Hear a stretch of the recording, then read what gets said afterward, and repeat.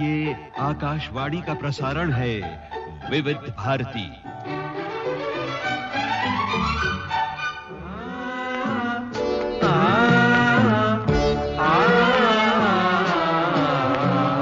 संगीत सरिता।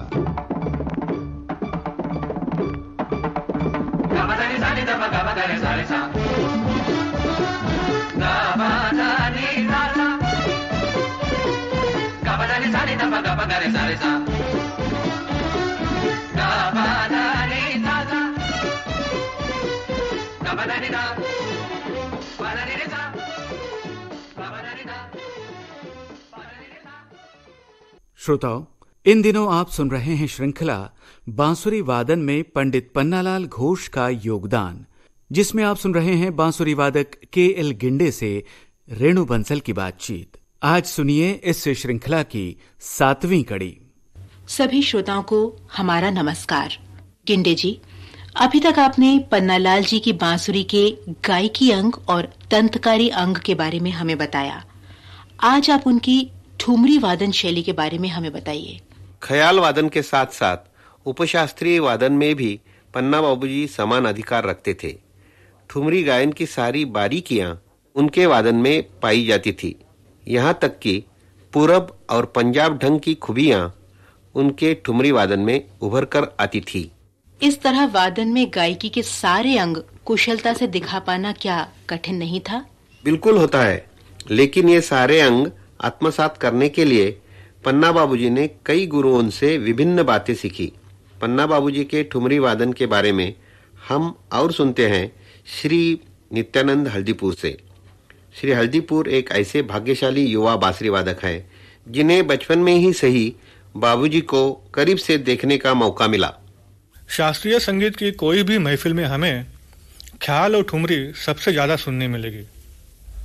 जैसे अलग अलग चीज़ गाने के लिए अलग अलग तरह की तालीम लेनी पड़ती है और गले को अलग तरह के ढांचे में डाला जाता है, वैसे ही साज बजाने वालों को भी ठेठ शास्त्रीय या ठुमरी अंग बजाने के लिए अलग अलग तैयारी करनी पड़ती है। दोनों की पेशकश अलग है और दोनों का अंदाज भी अलग। ऐसे बहुत ही कम गायक वादक है जिनका ख्याल और ठुमरी गायन पर समान अधिकार हो। जब हम इस अंदाज में सोचते हैं तो दिमाग में गायकों में से सबसे पहला नाम आता है उस्ताद बड़े गुलाम अली खां साहब का और वादकों में स्वर्गीय पन्नालाल घोष जी का। पन्नालाल जी ने शास्त्रीय संगीत की तालीम मैहर के सुप्रसिद्ध संगीत तज्ञ आचार्य अलाउद्दीन खान से पाई। इसके अलावा उस्ताद खुशी मोहम्मद और पंडित गिरिजाशंकर चक्रवर्ती से भी उनको संगीत का मार्गदर्शन मिला। क्योंकि मेरे पिताजी उनसे सीखते थे, मैं उनको बचपन से जानता हूँ। प्यार से लोग उन्हें पन्ना बाबू कहते थे। उनकी ज्ञान पिपासा ने मुझे बहुत ही प्रभावित किया। किसी भी राग की शुद्धता रख के बजाना उनका प्रमुख ध्येय रहा। उनकी संगीत की दृष्टि बहुत ही व्यापक थी। ठुमरी के विविध अंगों का उन्होंने खास अभ्यास किया और उनकी बारीकियाँ समझी। वे जब ठुमरी कजे टप्पा या दादरा बजाते तो वो चीज़ें स्वरों द्वारा मूर्तिमंत हो जाती। छोटे छोटे टुकड़ों से बनती टप्पों की ताने, मूर्छना भेद का विस्तार गिलकड़ी ताने, उनके वादन की पहचान थी। मूर्छना भेद का विस्तार तो वो बहुत ही सुंदर करते थे। आइए, उन्हीं की बजाय एक खमाश ठुमरी सुनते हैं और इसमें खास करके उनका कोमल निषाद लगाने का अंदाज। इसको प्राधान्य देकर वे राग सोहनी का आविर्भाव निर्माण करते हैं।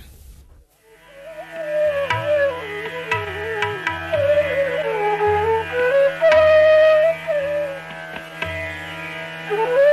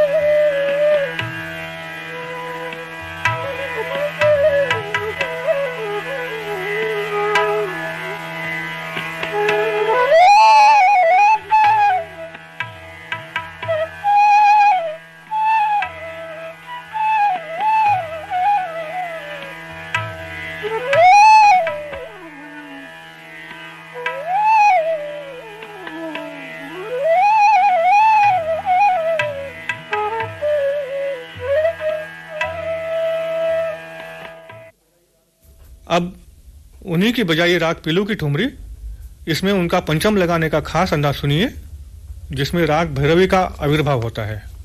पीलू जैसे राग में उनको 40 से भी अधिक ठुमरिया कंठस्थ थी।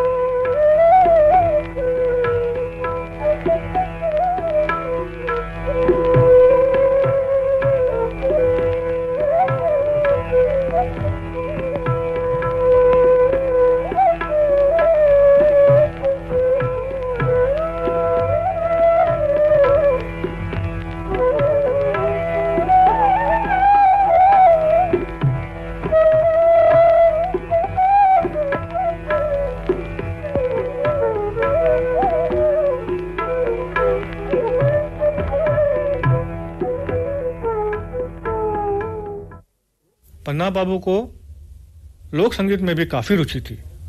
उनको बंगाल की बहुत सारी बाउल धुने और भटियाली गीत कंठस्थ थे। लोक संगीत में भी उनका दृष्टिकोण शास्त्रीय था। यानी कि उसमें भी वो शुद्धता रखने का आग्रह रखते थे। वो जब भटियाली धुन बजाते तो लोगों को गीत के शब्द सुनाई देते थे।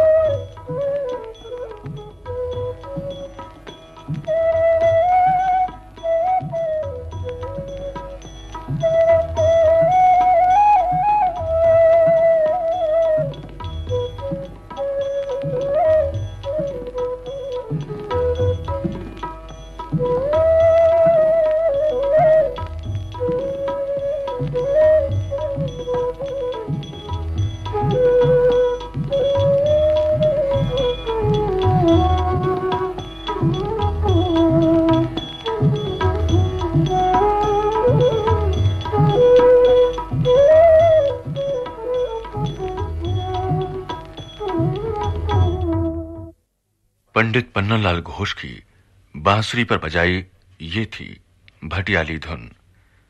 संगीत सरिता की इस कड़ी में पंडित पन्नालाल घोष की ठुमरी वादन शैली के बारे में आपको जानकारी दी बांसुरी वादक श्री नित्यानंद हल्दीपुर ने।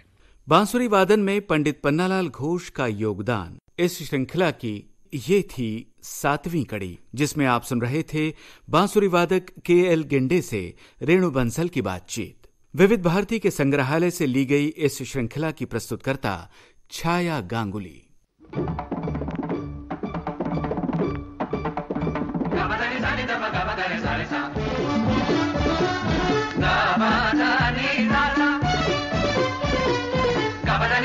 Gabba